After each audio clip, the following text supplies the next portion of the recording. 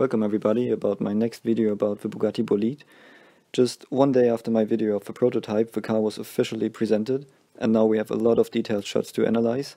So in this video I want to analyze the front. But first of all, in general, I was quite surprised that they are using the W16 drivetrain, something that we well know from the Bugatti Chiron.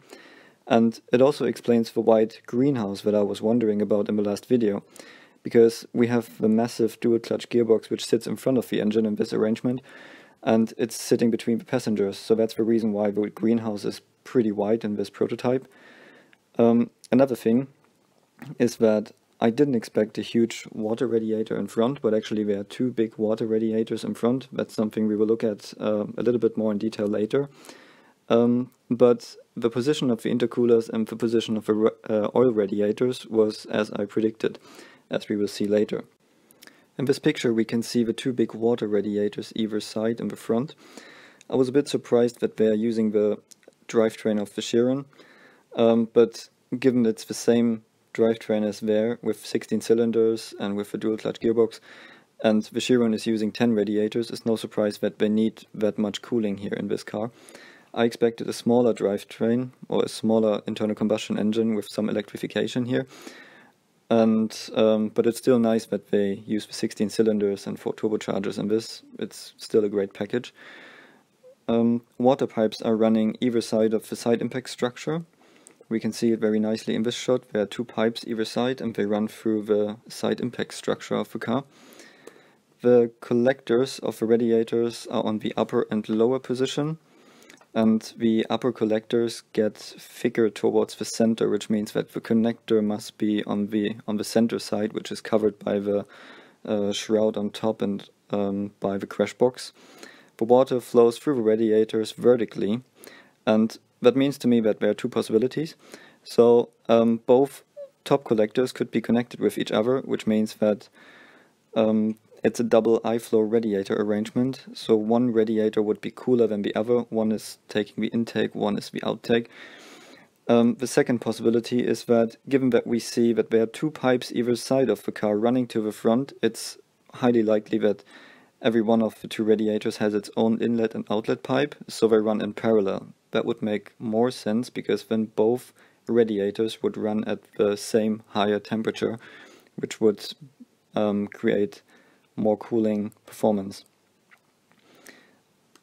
One thing that's very interesting in this shot is that we can see that they have a bent shape, so we have bent radiators, which is absolutely not common for production cars. They are common in Formula 1, but they won't even be allowed in Formula 1 from 2022. And um, I don't know any other motorsport category that, that's using these bent uh, radiators. Production cars never use it because it's pretty expensive and it's quite impressive to see them here. It's a pretty nice arrangement in front with uh, top carbon fiber cover and with the crash box covering the gap between the two radiators and with one fan either side.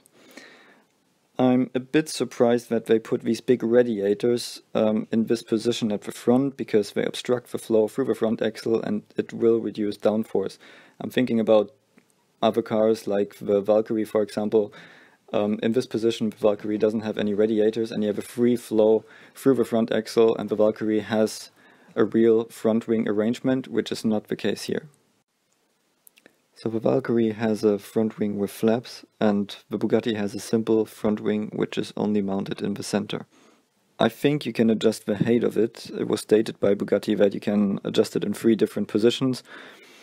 And for that function, it makes sense that it's uh, not connected anywhere else. So even the Bugatti horseshoe is open.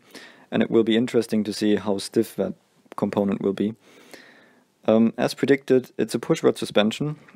Um, the pushrod and the rocker have a nice flat shape. You can see the water pipes run below. You can also see the drive shaft in this picture. You can see the wheel speed sensor cable, I think it's the wheel speed sensor cable, and you can see the standard VW connector for it.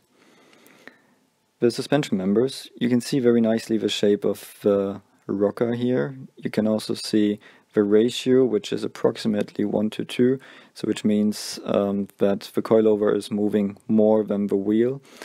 Um, it's quite common on sports cars to ensure a sensitive reaction of the suspension to small wheel movements. The car moves less and it's a more stable aero platform. There's no heave spring as far as I can tell from what I can see here. Um, so the car will have a lot of downforce, but I don't think it will have crazy amounts of downforce. You can see the um, the upper wishbone in this picture, and um, it looks like welded steel. Um, yellow you can see the main monocoque uh, with the pedal box, and you can see in orange the forward carbon frame, and uh, which is attaching the crash box. You can see the anti-roll bar, which is quite massive. You can see the brake line. You can see the carbon pull rod to support the outer radiator corner. We can see more shots of that later. And you can see a little hose running through here. This is the bleeder line from the upper radiator collector. You have this either side, and we will also be able to see this in that shot here. So in this shot you can see how this bleeder line is running from the outside and then to the center. And you can also see the reservoir at this position. Um, we have the steering box. We can see the track rod in front of the front axle. We can also see the lower radiator connections. And I asked myself how they connect the headlights. So it looks like this cable connects the front um, to the bodywork. So that's it for the front analysis. Please let me know how you liked it. If you're interested in any other parts of the car, please let me know. I will produce some more videos like this. And if you're interested in any other cars, please let me know and I can do some videos about this.